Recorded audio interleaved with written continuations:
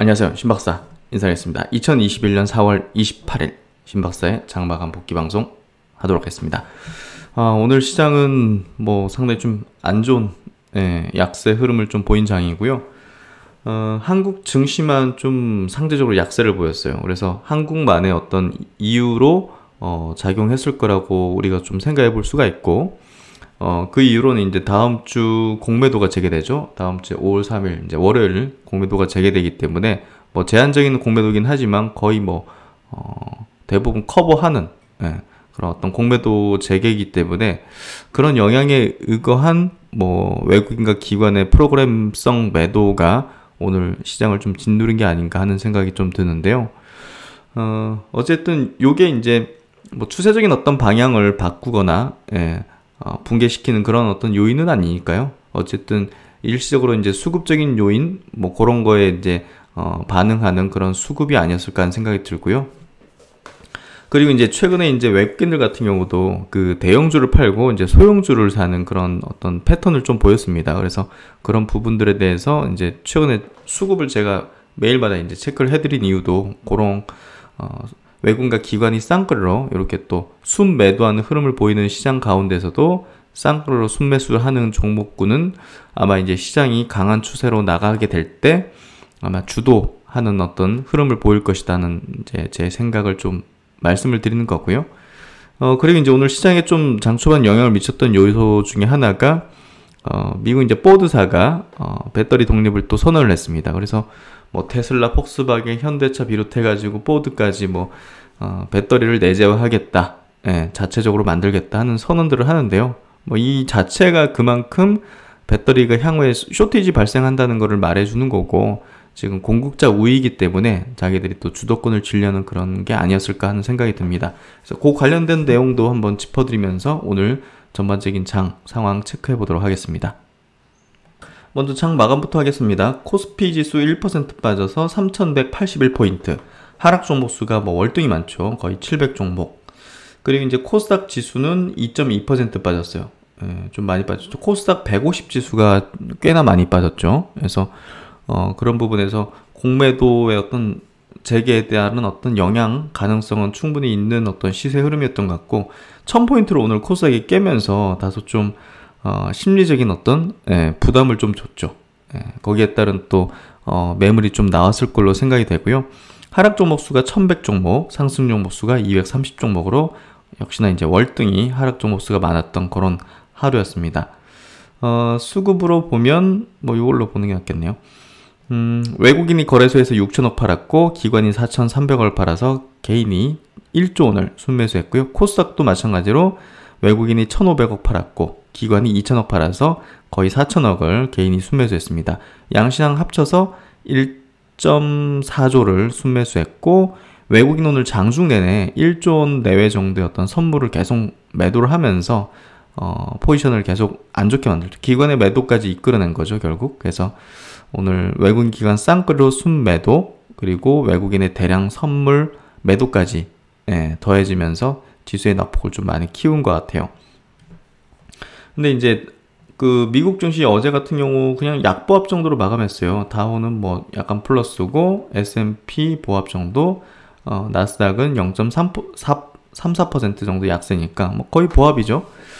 그래서 이제 아시아 증시도 일본 증시 올랐고 0.2%, 홍콩 증시가 이제 플러스 지금 흐름이고 상해 증시도 플러스예요. 대만이 약간 약보합. 근데 이제 우리나라 증시는 어, 코스피 1% 약세, 코스닥은 2.2%, 코스닥 뭐 100, 150은 2.8%까지 빠지는 뭐 거의 3% 빠지는 흐름이었기 때문에 우리나라만 이제 좀 특수하게 좀 밀렸고 뭐 우리마 우리나라만 특수한 게 뭐가 있겠어요. 뭐 다른 나라도 내일 뭐 FOMC 회의 때문에 뭐 뭐 경계 심리 있다 뭐 이런 얘기를 할수 있는데 우리나라만 이렇게 빠졌다는 것은 공매도 재개의 어떤 영향권이었을 거라는 추측을 좀 해볼 수 있을 것 같고요. 어, 외국인은 이제 외국인 기관은 프로그램성으로 매도를 했어요. 어제에 이어서 외국인이 프로그램으로 2,500억, 기관이 2,600억을 프로그램으로 이제 순매도했고요. 코스닥도 외국인이 1,000억 넘게 프로그램으로 매도했어요. 그래서 약간 좀 그런 이벤트성의 어떤 매도가 아니었을까 하는 생각을 저는 합니다. 음. 코스피 지수 1% 빠지면서 이제 5일선, 11선을 좀 깨뜨리는 그런 흐름, 21선으로 좀 붙이는 조정인 것 같고요. 코스닥 지수는 어, 뜨끔했어요. 왜냐면 한 방에 21선을 깨버렸잖아요. 예, 그래서 이게 질질 끌면 이게 질질 이렇게 흘러내릴 수 있는 건데 이게 하루 이틀 상간에 그러니까 이렇게 어, 이런 장대 음봉이 발생했을 경우 어, 하루 이틀 상간으로 바로 이렇게 어, 해주는 형태가 나와주는 게 조, 중요하거든요. 네, 그래서 그런 흐름에서 이번 주 안짝으로 장대 양봉이 나오는 게 조금 중요할 것 같고요. 그게 아니면 이제 다음 주 뭐 공매도 재개 오래를 되면서 뭐 양봉으로 완전 전환되고 추세를 돌리는 형태가 나오면 좋을 것 같은데 일단은 뭐 공매도 재개에 따른 경계적인 심리 수급이 미리 좀 선행적으로 나오는 게 아닌가 하는 생각이 들면서 거기에 따른 영향을 코스닥이 조금 더 최근에 더 탄력적이었다기보다 탄력적이다 보니까 이제 그런 어, 차익 매물까지 쏟아진 것 같아요. 그래서 이제 지수 단으로 보면 코스피 소형주 지수는 1.5% 빠졌고요. 예, 조금 더 많이 빠졌죠 지수보다. 중형주도 1.3% 빠졌고 대형주는 뭐 1%. 그러니까 최근에 이제 많이 올랐던 중소형주들이 차익 매물이 좀 출회됐다 볼 수 있을 것 같고요. 코스닥도 small 지수는 1.7, 어, 코스닥은 지수보다 아, 중소형주가 조금 더 강했네요. 그렇죠? 1.7%밖에 안 빠졌으니까. 근데 이제 코스닥 150 지수는 3.9% 빠졌어요. 코스닥의 이제 시총 상위주들이 오늘 어, 하락을 좀 주도했다 이렇게 볼 수 있을 것 같고 보시면 셀트리온 헬스케어, 셀트리온 제약 뭐 3% 내외 정도, 에코프로비엠도 3.9%, 게임 펄어비스 4%, SK 머티리얼즈 반도체도 많이 빠졌어요. 오늘 SK 하이닉스가 이제 뭐 예상치 부합되는 정도의 어떤 실적을 발표했는데 어떻게 보면 좀 surprise한 어떤 압도적인 어떤 예, earning surprise를 좀 기대했던 게 아니었을까 싶어요. 기대치 정도 나오다 보니까 조금 차익성 매물이 보다 더 좀 나왔던 것 같아요. surprise 했다면 이제 차익 매물이 어, 다음까지 좀 가져가자 이런 식으로 이제 됐을 텐데 음, 사실상 오늘 어, 하이닉스가 장 초반부터 차익 매물이 대량으로 출회되면서 어, 시장의 어떤 분위기를 조금 찬물 끼얹는 예, 그런 형태가 됐던 것 같아요. 그래서 아 실적이 좋아지는 건 시장이 이미 기업들이 다 반영을 하고 있구나. 음, 그러니까 부합되니까 그냥 차익 매물이 쏟아지는 거죠. 그러면서 반도체 관련주들 오늘 SK 머티리얼즈 5% 빠지고 어, 솔브레인 2%, TCK도 1.8%, 그리고 이제 원익 IPS 2.8%, 리노공업도 4.3% 빠지면서 고영 반도체 뭐 이런 것들 8% 이렇게 빠지는 그런 흐름을 보이면서 반도체가 오랜만에 센 어떤 조정 흐름, 동진 쎄미켐도 5.3% 이제 상대적으로 시스템 반도체 쪽은 좀 그래도 방어가 됐죠. 실리콘 웍스 예, 0.5% 약세 정도로 이제 방어를 했다. 에코프로가 이제 분할 내일 이제 정지 들어가기 때문에 그 분할 전에 어, 아니, 거래 정지 전에 어쨌든 기관이 싹쓸이로 이제 순매수한 것 같아요. 음. 어쨌든 이런 흐름이었고요. 음. 그나마 이제 이 코스닥의 화학 지수, 이제 2차 전지라 볼 수 있죠. 2차 전지 소재주들은 시장 대비 그래도 좀 강했던 2%. 근데 반도체가 확실히 이제 4%나 빠지면서 예, 반도체 지수입니다. 코스닥에 지수보다 예, 더 많은 약세를 보였고 IT 종합적으로 2.6% 빠지면서 더 많이 빠졌고 제약도 3.5% 빠지면서 더 많이 빠졌죠. 그래서 오늘은 어, 기존에 많이 올랐던 것들이 좀 더 많이 빠지는 차익 매물도 같이 출해된 그런 어떤 흐름이었던 것 같아요. 어, 개인적으로 이제 오늘 장세를 이제 관찰하면서 느낀 점은 어, 뭐 공매도 영향으로 인한 어떤 뭐 기관과 외국인의 어떤 수급이 나왔을 거라고 추측이 되면서 종목 단으로 이제 제가 주도하는 어떤 종목군들을 계속 관찰하면 차익 매물 정도 나온 것 같아요. 차익 매물이 나오면서 어 뭔가 좀 시장의 불확실성 측면을 확인하고 가자는 그런 심리가 좀 느껴진 것 같아요. 어쨌든 FOMC 회의 그리고 다음 주 뭐 공배도 재개 요걸 이제 확인하고 네, 그래서 그다지 뭐 큰 변동은 있을 것 같지는 않은데 일단 확인하자는 심리가 좀 있으면서 이익 많이 났으니까 일부 좀 실현하고 나머지 갖고 있고 이런 식으로 된 게 아니었을까 네, 느낀 점은 그런 점이고요. 그러면 오늘 외국인 기관이 엄청나게 팔아 제꼈는데도 불구하고 어, 양쪽에서 순매수가 들어온 종목을 한번 보도록 하겠습니다. 어, inverse를 많이 샀네요.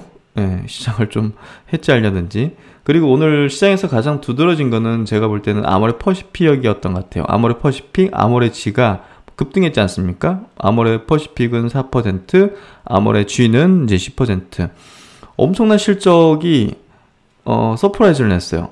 예, 1위 왕관을 타아해냈다 하면서 중국 쪽이 지금 엄청나게 지금 화장품 부분에서 예, 소비 어떤 어, 퍼포먼스를 내주는 것 같고요.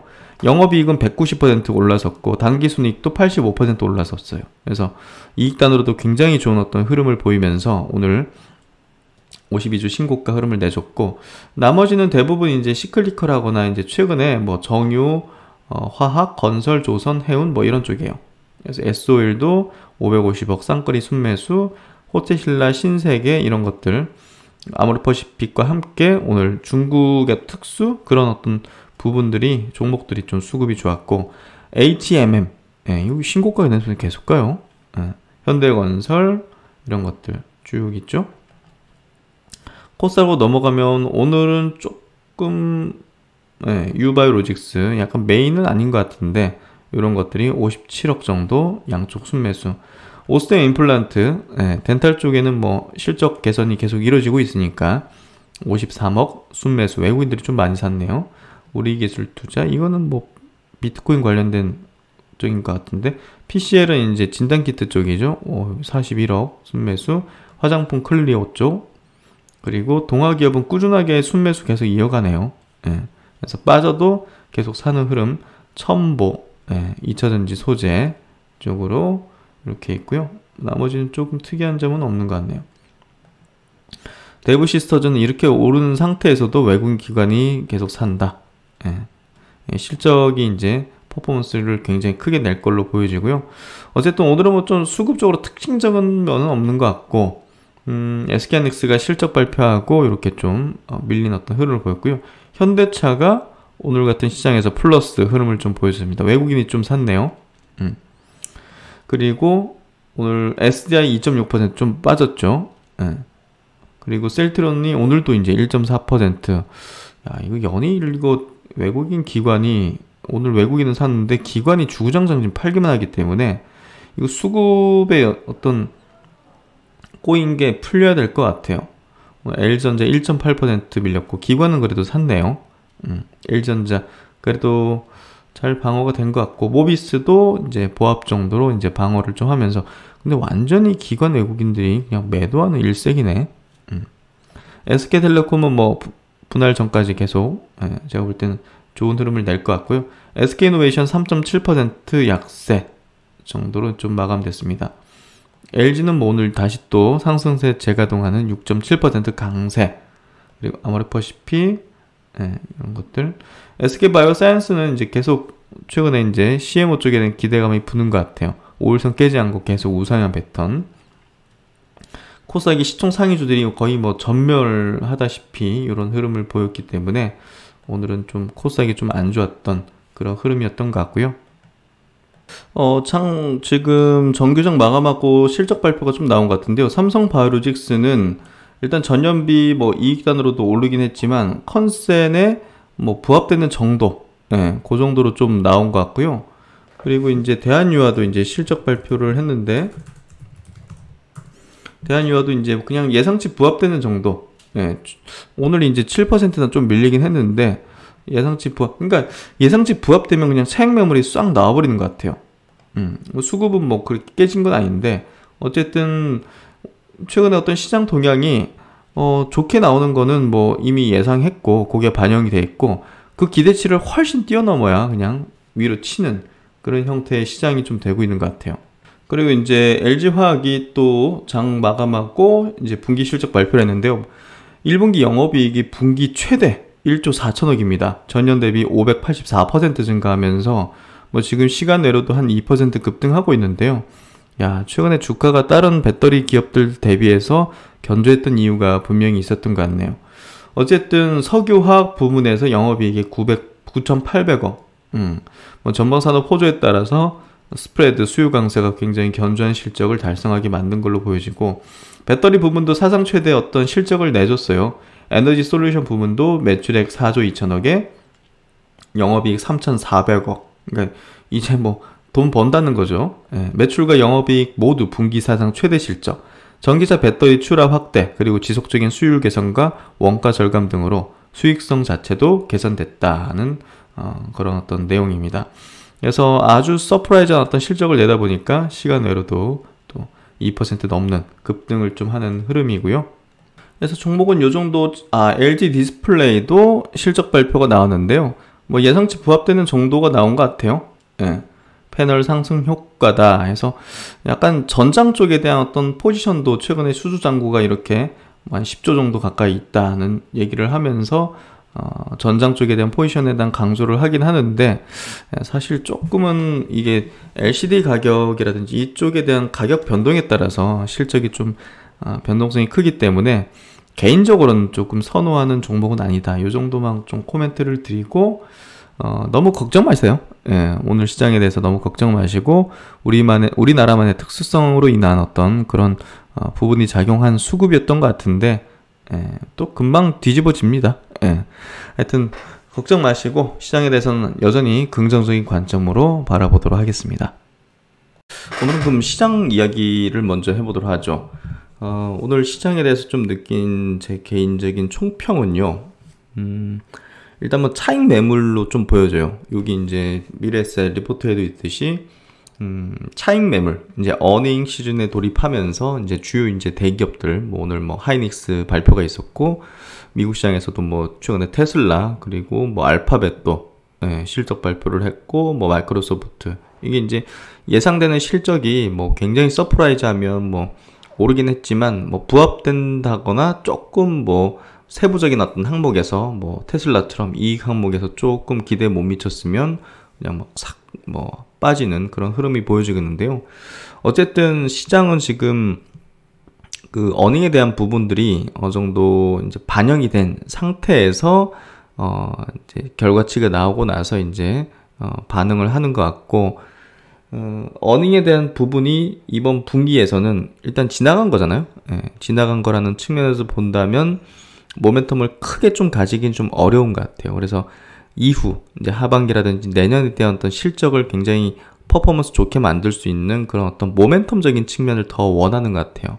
음, 그래서 뭐, 뭐 장중에 제가 이제 드린 어떤 코멘트 중에서 뭐 회원분들에게 드린 코멘트 중에서 뭐 테슬라가 이제 중국 공장 완공해서 이제 양산할 때 뭐 그런 모멘텀. 그러면 이제 향후 실적이 굉장히 좋아질 게 뻔해지는 그런 모멘텀이잖아요. 그때 이제 주가가 빵 튀었죠. 그리고 LG전자 같은 경우도 뭐 이번 실적이 굉장히 좋게 나왔지 않습니까? 예, 네, 뭐 그럼에도 불구하고 이제 주가가 지지부진한 거는 그 어, 결국 이제 주가가 빵 튀었을 때 뭐 때문에 빵 튀었는지를 이제 보면 알 수 있는데 어, LG하고 이제 마그나가 그 powertrain 합작 회사를 이제 만든다는 그런 소식이 나왔을 때 주가가 빵 튀어가지고 두 배가 이제 단기간에 팍 올랐거든요. 그러니까 결국은 이제 그런 것들이 더 필요한 것 같아요. 시장은 그리고 이제 지금 시장을 주도하는 그런 주도하는 종목군들도 예, 보다 더 이제 그런 게 더 필요한 거죠. 그래서 이번 어닝 시즌에서 어, 상승 모멘텀을 크게 가지기보다는 어떤 모멘텀이 나와준다든지 아니면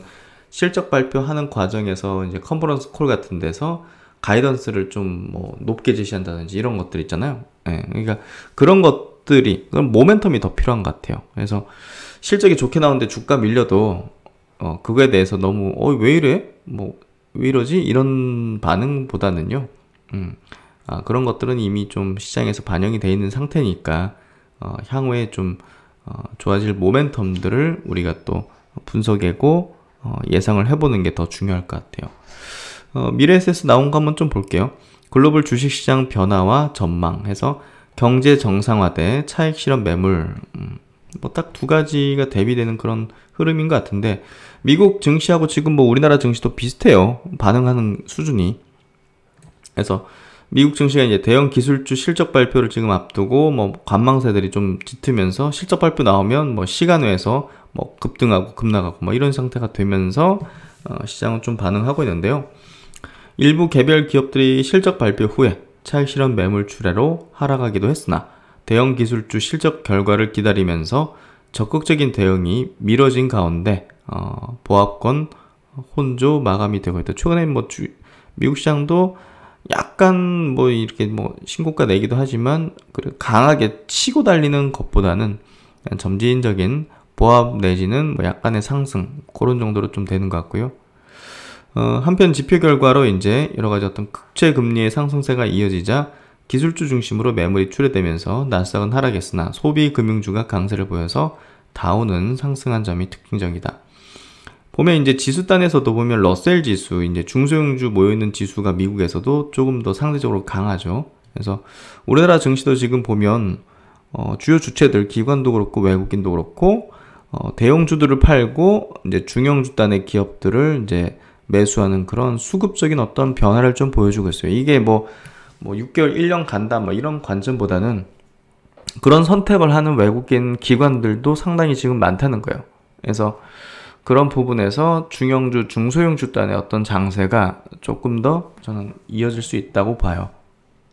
그래서 이제 모멘텀적인 측면의 어떤 중형주, 중소형주는 사실 바이오가 상당히 좋고 또 이제 2차 전지 같은 경우도 뭐 실적 나오는 것도 있지만 어, 보다 이제 수주를 이제 뭐 대, 대규모로 딴다든지 뭐 일진 머트리얼즈나 뭐 어? LNF처럼 뭐 이런 것들 뭐 그런 것들이 더 필요한 거죠 결국은. 그래서 그런 것들이 있는 그런 섹터 주요 종목들에 대해서 보다 더 강한 어떤 모멘텀을 가지게 되는 것 같고요. 뭐 게임주도 이제 그런 어떤 류에 속할 거고. 그래서 그런 부분의 종목적인 포트폴리오를 조금 형성할 필요 있다 하지만 대형주를 다 빼는 건 아니다 예. 대형주가 어느 정도 있어야지 이제 포트폴리오의 어떤 안정성이 좀 있거든요. 그래서 오늘 같은 날도 어, 중소형주 코스닥이 낙폭이 컸잖아요. 예. 그러니까 어, 코스피 쪽에 대형주가 최근에 지지부진했지만 그런 것들을 다 빼기보다는 일부 갖고 있는 게 비중을 뭐 그래도 한 3, 40% 정도는 적어도 갖고 있어야지 이 포트폴리오 어떤 안정성이 가해진다는 거죠. 분명 조정이 세게 이렇게 온단 말이에요. 한 번씩 오늘 뭐 코스닥 지수가 21선에 붙이는 그런 뭐 봉이 나왔잖아요, 음봉이. 예, 이럴 때 이제 우리가 심리적으로도 안정감을 이제 가질 수 있는 거는 어, 대형주들이 이제 뭐 지수가 뭐 많이 빠져도 뭐 기껏 뭐 한 2, 3% 빠지는 거거든요. 뭐 네이버, 카카오 이런 것도 보세요. 예, 뭐 삼성전자, 현대차, 어? 어? 이런 것들, LG화학, SDI, SDI라든지 그런 것들은 뭐 지수 뭐 많이 빠진다 하더라도 기껏 많이 빠져야 2, 3%, 뭐 1% 내외 정도로 방어하거나 이런단 말이에요. 그러면 이제 포트폴리오 안정성이 높아지기 때문에 심리적으로도 굉장히 좀 좋거든요. 그래서 어 뭐 중소형주 장세가 왔으니까 그냥 내 계좌 100%다 중소형주로 깐다. 뭐 자금의 크기에 따라서 이제 그런 선택을 할 수도 있겠지만 제가 좀 추천드리고 싶은 거는 어, 어느 정도 포, 포트폴리오 형성하면서 가는 게 보다도 이제 우리가 투자할 때는 심리가 또 굉장히 중요한 포인트고 그 심리가 흔들려 버리면 아무리 좋은 종목에 대한 분석을 했고 가지고 있다 하더라도 예, 소위 이제 털리거나 예, 잘못된 어떤 판단을 하는 경우가 많기 때문에 그 심리가 안정을 가지게 만들려면 어떤 포트폴리오 구성이라든지 이런 것들을 심리가 흔들리지 않게 만드는 게 되게 중요해요. 음, 그래서 뭐 조금 실전적인 얘기긴 하지만 예, 뭐 다들 어, 자금을 운용하시면서 고민하게 되고 생각해 보게 되는 그런 어떤 내용이실 것 같아요.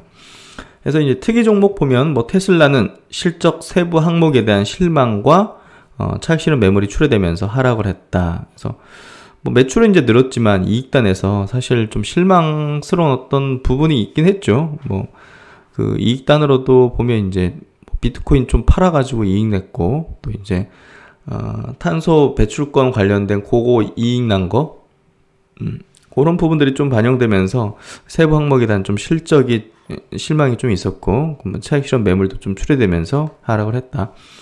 어, 구글 같은 경우는 예상을 크게 상회한 어떤 실적 발표 후 시간으로 4% 상승 중. 최근에 어, 알파벳이 유독 이제 강했던 것들을 보면 이런 것들이 좀 있었던 것 같네요. 마이크로소프트는 예상을 소폭 상회한 실적 발표 후에 차익 매물 출회되면서 3% 하락 중. 그래서 뭐 이런 어떤 내용들이 있었고, 뭐 지금 한국 증시 전망에 대한 내용을 보면요, 뭐 환율은 뭐 크게 변동성은 없는 것 같아요 아직. 한국 증시는 미국 증시에서 소비자 신뢰 지수가 코로나 사태 이후 최고치를 기록하는 등 미국에서 이제 소비가 좋아지는 그런 지표들이 나오면 이제 한국 수출이 좀 좋아질 거다 이런 예상을 해볼 수 있는 거거든요. 그래서 어, 경제 정상화 가능성이 부각된 점은 긍정적인 영향을 줄 것으로 전망된다. 그래서 어, 한국 증시, 한국 경제 어떤 수출이 늘어나는 거를 우리가 좀 선행적으로 예상을 해볼 때 어, 미국 현재 소비 어떤 지표들이 되게 중요한 어떤 시그널을 제공해 주죠. 그래서 이런 부분들이 긍정적이다. 그래서 한국 증시에 대해서 저는 걱정할 필요는 없다고 생각해요. 예, 뭐 오늘 조정은 어, 제가 이제 뭐 주요 종목들 계속 관찰하면서 보지만 차익 매물 나오는 정도의 어떤 수준의 하락 폭이라든지 그런 흐름이었거든요. 그래서 어 뭐뭐 뭐 시장에 어떤 큰 리스크 발동돼 가지고 막 막 주구장창 던지는 막 그런 어떤 뭐 호가창에서도 느껴지는 그런 부분이 있거든요. 예, 패턴화된 느낌들. 근데 그런 식으로 빠지는 게 아니라 그냥 이제 예, 차익 실현을 하는 어떤 그런 사람들, 투자자들 그런 측면의 어떤 수급 들이었던 것 같아요. 제가 판단컨대는. 그래서 뭐 오늘 약세 흐름을 하는 가운데서도 크게 뭐 예, 동요되는 건 없는 것 같더라고요. 개인적으로는. 예, 그래서 뭐 그런 느낌들을 좀 제가 한번 이렇게 좀 그냥 설명드려보는 거고요. 한편 이제 미국 증시 마감 후 양호한 실적을 발표한 알파벳이 급등했으나 어, MS는 급락한 점에 주목을 해야 된다. 시장은 예상을 상회하는 이제 실적은 이미 어, 기대를 하고 있으며 이를 큰 폭으로 상회하지 않는 한 차익 매물을 내놓고 있음을 보여주는 사례를 볼 수 있다. 예, 딱 맞는 얘기예요. 예, 저도 이 생각을 딱 했는데 딱 맞는 얘기를 한 거예요. 이를 감안해서 한국 증시는 매물 소화 과정 속에서 실적 개선 속도가 빠른 업종군에 주목을 해야 된다. 그래서 최근에 철강주 굉장히 센데요. 예, 실적이 이제 어, 생각했던 것을 완전 뛰어넘는 수준이 나오다 보니까 그쪽으로 그냥 뭐 단기 수급들이 밀어붙이는 것 같아요. 뭐 거기에 장기 수급이 들어갈 리는 없을 것 같고 뭐 기관들 중에서도 이제 분기 단위로 투자를 주로 하니까 뭐 평가 자체가 분기 단위, 반기 단위, 연간 단위로 평가를 해가지고 이제 하는 거기 때문에 음, 그런 부분에 어떤 수급들이 좀 붙었다 이렇게 보면 될 것 같아요. 뭐 개인적으로는 저는 철강주나 뭐 조선주 뭐, 뭐, 뭐 건설주 이런 거 투자할 생각이 전혀 없습니다. 어쨌든 뭐 매물 소화하는 과정 속에서 나타난 뭐 한국 증시 오늘 조금 어, 아시아권 증시 대비한 미국 조정에 대비한 조금 상대적으로 좀 컸던 낙폭인데요. 뭐 그만큼 뭐 어, 향후에 올라갈 때는 더 탄력적으로 올라갈 수 있는 그런 어, 건전한 조정 정도라고 저는 생각합니다. 그리고 이제 한화투자증권 관련 내용 한번 좀 볼게요. 저번에도 한번 그 대형 이제 IPO 기업들에 대해서 설명을 좀 드린 적이 있잖아요. 그런 기업들이 이제 들어오게 된다는 게 좀 시장에 큰 부담이다 얘기를 했는데 음, 그거랑 연결되는 그런 또 이제 내용이라서 한번 체크를 해드릴게요. 보이지 않는 버블이다. 그러니까 아직 장내로 들어오지 않아서 보이지 않는 그런 버블이 예, 비상장 시장에 좀 있다. 공모 시장의 호황이 투자자들을 비상장 시장으로 이끌고 있다. 장외에서 너무 커져버린 기업들이 IPO를 하게 되면 코스피 대형주에 부담을 줄 것으로 생각한다. 그래서 뭐 그 sector군에서 이제 약간 주도주가 바뀔 수도 있기 때문에 들어오게 되면 뭐 SK 바이오사이언스 같은 기업이 쫙 들어오니까 그 백신 CMO 쪽에서 이제 뭐 대장이 바뀐 거잖아요. 예, 그런 것처럼 뭐 결국은 이제 코스피 주요 대형주에 좀 부담을 줄 수 있는 그런 수급적인 포인트다. 그래서 이런 것들이 이제 대형 IPO 기업들이 들어온다는 것 자체는 어, 시장의 어떤 고점권을 형성하기 시작한다는 걸로 좀 받아들일 필요가 있다. 저는 그렇게 생각하고요. 그래서 이제 이런 것들이 들어올 때는 조금 긴장하고 어, 시장에 부담을 줄 수 있다고 생각합니다. 그래서 이제 이번에 SKIET 같은 경우 보면 뭐 그 청약한 사람들 다 이제 그런 생각 가지겠죠. 따상 머릿속에 다 따상을 생각하고 있을 거예요. 예. 그래서 그런 것들 자체가 결국은 어, 시장을 조금 어, 뭐라 부담을 주는 포인트인데 어, SKIET에 이어서 크래프톤, 카카오뱅크, 카카오페이 등 대형 기업들의 IPO가 예, 좁은 시차를 두고 지금 예정에 있습니다. 최근 비상장 시장이 열기로 이들은 이미 업종 대표주보다 높은 시가총액과 멀티플을 지금 이미 받고 있습니다. 이에 대한 부담은 코스피 대형주 시장이 나눠서 이제 부담을 하게 될 것이고 과거에 비해서도 코스피에 비해서 도 이제 오히려 코스닥 시장의 부담이 좀 덜해 보인다. 그래서 코스닥 시장이 조금 더 메리트가 높다는 얘기를 하는데 뭐 저도 이제 그 부분에 동의합니다. 글로벌 value chain 해서 어 보시면 수요 급증으로 supply chain 및 장비 부족 등의 병목 현상이 올해 4분기까지 지속될 걸로 보여진다. 그래서 여러 가지 어떤 해운업 호조라든지 이런 것들 조금 더 연장될 수 있다. 해운 조선업에 대한 관심을 좀 가질 필요가 있다. 이런 얘기를 하고요.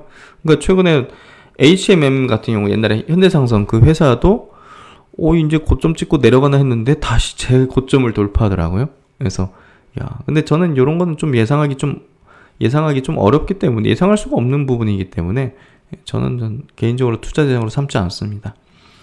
어, 외국인도 대형주를 팔아 중소형주를 사는 패턴이 관측이 됐다. 어, 지난 한 주 동안 외국인 active 투자자들의 이제 passive가 아닌 예, 적극적으로 이제 어떤 특정 sector나 종목을 이제 사는 그런 active 투자자들의 순매도 상위 10, 10개 종목 중에서 시가총액 상위 10위 내에 있는 종목이 8개 달했다. 그러니까 시총 대형주를 팔았다는 거죠. 순매도 상위 10개 종목의 매도 금액 합은 1.6조 원, 순매수 상위 어, 10개 종목의 매수 금액 합은 0.7조 원이다.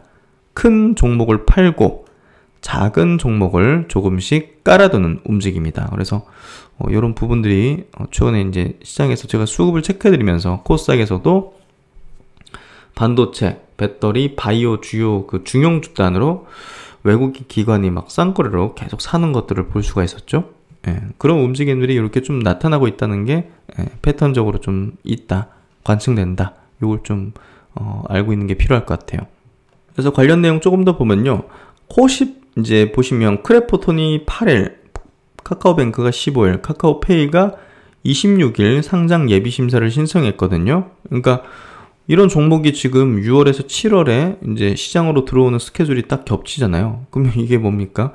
코스피에 이제 물량 부담으로 좀 작용되는 거죠. 그래서 치고 달리다가 이게 들어올 때쯤 조금 지지부진해질 수도 있겠죠, 시장이. 음, 그래서 요 스케줄은 저는 굉장히 중요하다 봅니다. 제가 어, 반복해서 강조하는 스타일이 아니거든, 사실. 저는 굉장히 반복적인 걸 별로 안 좋아하는 사람이라서. 예. 근데 어, 이거 좀 중요한 거라고 생각해요. 이제 여기서 좀 코스닥이 좀 더 자유롭다는 거예요. 예. 코스피 시장은 최근 몇 년간 대형 IPO가 거의 없었다. 공모 기준으로도 1조 원 초과 기업의 상장은 2017년 이제 ING 생명 그리고 넷마블 게임즈가 마지막이었고 작년에 대형 IPO로 꼽혔던 뭐 SK 바이오팜이라든지 빅히트도 공모 금액은 이제 조달한 시장에서 조달한 그 금액 자체가 1조 원이 안 됐기 때문에 시중 자금을 이제 끌어들이는 데 있어 가지고도 예, 뭐 엄청 그렇게 뭐 엄청 컸던 건 아니죠. 과거 이런 기업보다. 근데 지금 보면 SKIET 이거 이거 지금 합의금 충당하기 위해서 돈 모아야 되는 거잖아요, 지금 SKIET가. 그러니까 이것도 이제 1조 원 이상 모으게 될 거고 포함해서 크래프톤 이 capa 자체가 지금 어마어마하게 크단 말이에요. NC보다 크거나 비등할 거거든요.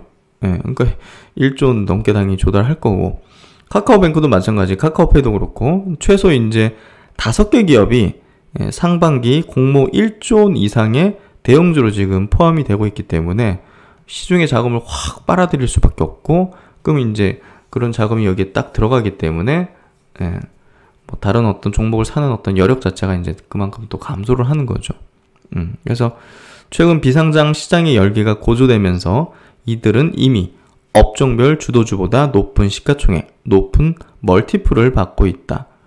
그래서 이제 비상장 지수의 가파른 상승에 대한 부담은 코스피 대형주 시장이 나눠서 부담하게 될 것이라고 생각한다. 어, 코스피에 비해서도 코스닥 시장의 부담이 이제 덜해 보인다. 그래서 코스닥이 조금 더 거기에 자유롭다. 38 커뮤니케이션이라는 사이트 있거든요. 거기 가면 이제 비상장 기업들 이제 가격이 나와 있는데 그걸 지수화 해가지고 보니까 이렇게 막 치솟고 있더라. 저런 것들이 지금 상장하기 전에 막 장외에서 예, 사, 뭐 상장 신청서 제출했다 하면 막 급등하고 그러거든요. 음, 그래서 이렇게 막 급등하고 있고 코스닥 지수는 상대적으로 이제 잠잠하다. 그래서 제가 볼 때는 한 두 달 상가는 코스닥이 조금 더 아웃퍼폼하고 어, 상황이 좋고 투자하기 조금 좋지 않을까 그렇게 좀 저는 생각을 갖고 있어요. 그러면 올해 오, 오늘 이제 이슈화됐던 어떤 내용 한번 체크해 볼게요. 오늘 2차전지 기업들이 조금 좋지가 않았는데 요 기사 영향이 좀 있었던 것 같은데요. 뭐 투자 심리에 조금 좋지는 않죠. 예. GM 폭스바겐에 이어서 이제 포드도 어, 배터리 독립에 대한 선언을 뭐 했다. 배터리 개발센터 개소 예정이고 2천억 원 투자 계획을 갖는다 해서 어, 지금 이제 뭐 전기차 그 자동차 메이커들이 음, 전기차 배터리를 내재화하겠다 뭐 이런 어떤 선언들을 계속 하는데요 선언이죠 예, 선언이라는 측면에서 이게 뭐 아, 가능할지 여부는 또 모르는 일이고 그리고 그걸 그렇게 투자해 가지고 실행한다 하더라도 그게 어느 정도 전부는 내재할 수 없고 일정 부분 내재하는 데 있어 가지고도 굉장히 많은 시행착오와 자금이 들어가야 되고 어, 브러쉬할 거예요. 음. 한국 업체들이 뭐 그냥 이렇게 된 게 아니죠. 예. 뭐 LG화학도 20년간 그런 걸 쌓아왔고 어, 삼성 SDI 같은 경우는 삼성전자라는 든든한 그 이제 2차 전지에 대한 공급처를 그동안 가져오면서 기술을 계속 이제 어, 축적해 왔고 그런 것들을 바탕으로 이제 자동차 배터리까지 이렇게 하는 건데 갑자기 저런 회사들이 할 수 있다. 예, 저는 작년부터 계속 말씀드렸지만 이제 아, 쉽지 않다. 네, 이런 얘기를 드렸고 음, 한번 내용 보죠. 자동차 업체들의 전기차 배터리 독립 선언이 잇따르고 있다. 테슬라를 시작으로 GM, 폭스바겐이 배터리 수직 계열화 행렬에 동참을 했다. 이번엔 미국 자동차 업체 포드까지 전기차 배터리 자체 개발을 어, 선언을 하고 나섰다. 그래서 배터리 개발 센터를 이제 설립할 계획이다. 2천억 정도가 이제 일단은 뭐 투자될 예정이다. 그래서 어, 글로벌 완성차 업체들의 배터리 내재화 선언을 어, 뒤따르는 행보다. 그래서 어, GM은 이제 지난 5월 이제 LG와 합작법인 얼티엄 셀즈를 세우고 미국 오하이오주에 어, 배터리 1공장을 짓고 있다. 최근에는 뭐이 공장 설립 계획도 이제 발표를 했고요. 폭스바겐도 유럽 내 배터리 공장 6곳을 증설하고 240기가와트 규모 배터리 셀을 자체 생산한다고 이제 Power Day 때 얘기를 했죠. 그리고 뭐 테슬라는 뭐 이미 하고 있고 현대차 그룹도 최근에 이제 자체 생산 추진한다고 발표를 했죠. 예. 현대차는 전기차 배터리 내재화를 목표로 개발 중이다. 차급과 용도, 성능, 가격별로 최적화한 배터리 개발을 추진하고 있다. 그러니까 이 자동차 메이커들이 음, 100% 내재화하겠다는 게 아니에요. 결국은 협상력을 가지려면 자체적으로도 일부 마, 만들고 가지고 있어야 돼요. 그래야지만 이 배터리 회사에 완전히 그냥 끌려다니거나 가격 협상력을 완전히 잃어버린 채 달라는 대로 줘야 되고 뭐 이렇지 않을 수 있다는 거죠. 그런 부분에서 선언을 하는 걸로 이해를 하는 게 필요할 것 같고요. 음. 이 기사에서도 나와 있죠. 포드를 비롯한 자동차 업계가 자체 배터리 생산 개발에 주력하는 것은 향후 배터리 공급 사태, 이제 배터리 공급이 이제 부족해지는 그런 사태에 맞서서 어, 배터리 업계와의 주도권 싸움에서 밀리지 않기 위한 선제적인 대응이라는 분석이 제기된다.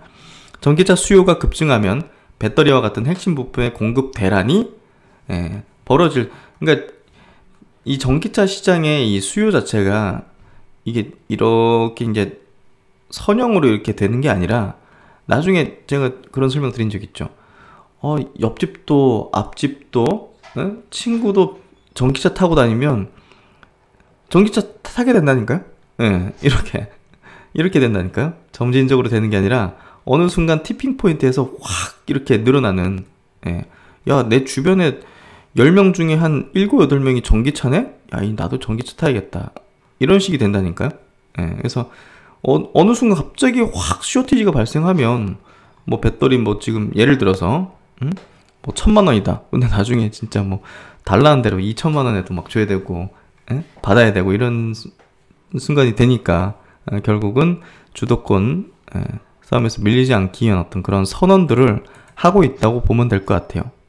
그래서 이제 SNE 리서치라는 곳에서 오는 23년부터 배터리 수요가 공급을 7% 초과하는 공급 부족 현상이 발생하고 25년에는 그 격차가 더 벌어질 것이라고 경고하고 있습니다. 그러니까 지금 이제 2년 정도 남았잖아요. 그러니까 지금 막 선제적으로 저렇게 하는 거예요. 예. 보다도 자기들이 막 어, 많이 뭐 수주도 따야 되고 하니까 그래서 폭스바겐이 그렇게 난리 친 거잖아요. 미국에서 그 LG하고 SK가 싸우는데 음. 이렇게 가뜩이나 부족할 걸로 예상이 됐는데 그거 그렇게 돼버리면 어? SK 공장 못 돌리면 더 쇼티지가 발생하니까 자기들은 지금 막 급했던 거죠 사실은 음. 일론 머스크 테슬라 최고 경영자도 올해 1월 실적 발표 자리에서 배터리 공급 부족에 대한 우려를 언급한 바가 있다. 또 전기차 가격 경쟁력 확보를 위한 움직임이라는 분석이다. 배터리는 전기차 가격의 약 30에서 40%를 차지하죠. 업계 한 관계자는 당장은 전 세계적으로 전기차 보조금이 지급되고 있지만 음, 뭐 이제 아이오닉 5도 뭐 한 천만 원 이렇게 받잖아요. 보조금을 1,200만 원인가? 음. 앞으로 계속될 수만은 없는 노릇이다. 뭐 언제까지 보조금을 주겠냐? 결국 배터리 자체 생산은 내연기관 차와 경쟁 가능한 가격대의 전기차를 내놓기 위한 어, 불가피한 이제 흐름이라고 이제 진단했죠. 그래서 이런 부분에서 어, 전기차 배터리 업체들의 어떤 지금 위상이 뭐 이런 선언들을 한다고 깎이지는 않습니다. 음, 그래서 어, 기우에 불과한 어떤 우려다 그렇게 좀 생각이 되고요. 걱정 마시기 바랍니다. 예. 그래서 이제 어제 삼성 SDI의 이제 실적 발표 이후 conference call에서 이제 Q&A가 있었는데요. 이런 질문이 있었어요. 최근 이제 폭스바겐 Power Day 통해서 배터와 배터리 내재화를 밝혔는데 SDI 입장은 어떻게 되느냐? 그래서 어, 답변이 이제 테슬라 내재화에 이어서 폭스바겐도 배터리를 이제 내재화한다는 것은 그만큼 전기차 배터리의 안정적인 수급이 중요하고 수요가 늘어나고 있다는 것이 사실이다. 하지만 배터리 생산에는 기술, 양산 역량, 노하우가 필요해서 내재화에는 시간이 걸릴 것으로 전망이 된다. 특히 전기차 OEM은 필요한 배터리 수요를 내재화한 캐파만으로 감당하기가 어렵고 차량 특성에 맞는 다양한 배터리가 필요해서 전지 업체와의 협력을 유지할 필요가 있다. 음, 그래서 그렇죠. 음, 그래서 쫄지 마시라 이 얘기를 하는 겁니다. 우리 우리 위상이 그만큼 크다는 것을 그들이 스스로 얘기해 주는 거다. 이런 얘기를 하는 거죠. 너희들이 만든다고 과연 잘 만들 수 있을까 하는 얘기죠. 음. 그래서 제가 볼 때는 배터리에 대한 어떤 걱정은 기우라고 생각하니까요. 네, 너무 걱정 안 하셔도 될 것 같습니다.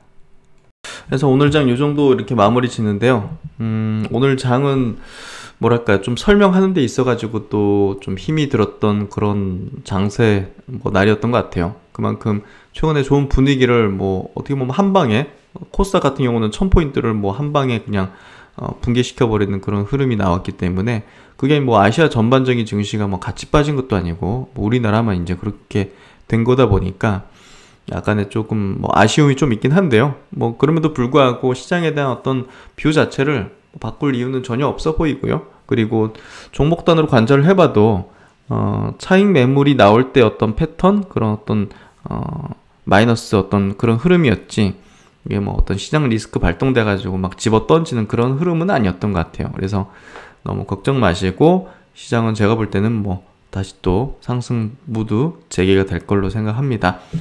네, 하여튼 뭐 여러 가지 어떤 뭐 내용들이 뭐 FOMC라든지 공매도 재개라든지 있긴 하지만 시장의 방향은 명확하다고 저는 생각하고요. 어, 두려워 마시고 시장에 대한 긍정적인 view 계속 유지하도록 하겠습니다. 편안한 저녁 시간 되시고 신박사는 또 다음 시간에 뵙도록 하겠습니다. 감사합니다.